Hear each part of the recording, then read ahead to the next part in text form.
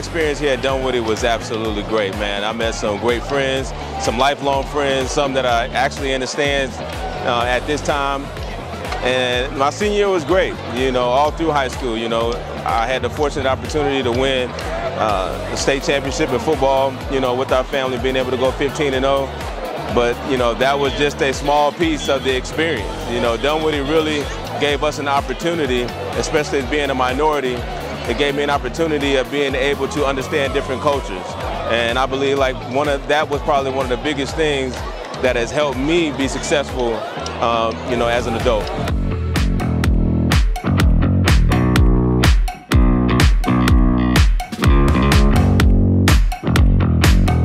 High school was more of a um, fun time than academic time because I was going right into the family business uh, right after graduating high school.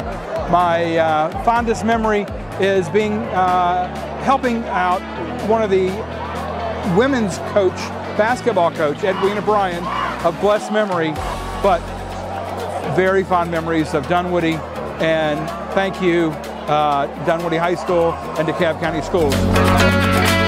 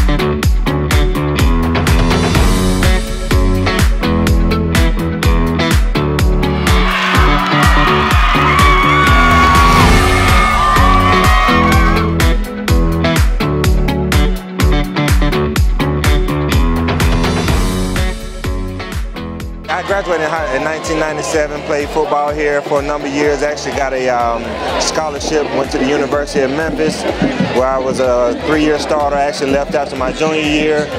And then I got a chance to play for the Indianapolis Colts where I was drafted in the second round. I was the 37th overall draft pick of the 2001 NFL draft. And I ended up playing seven years with the Colts, Lions, and Panthers. And uh, it all started here on this football field back in Dunwoody.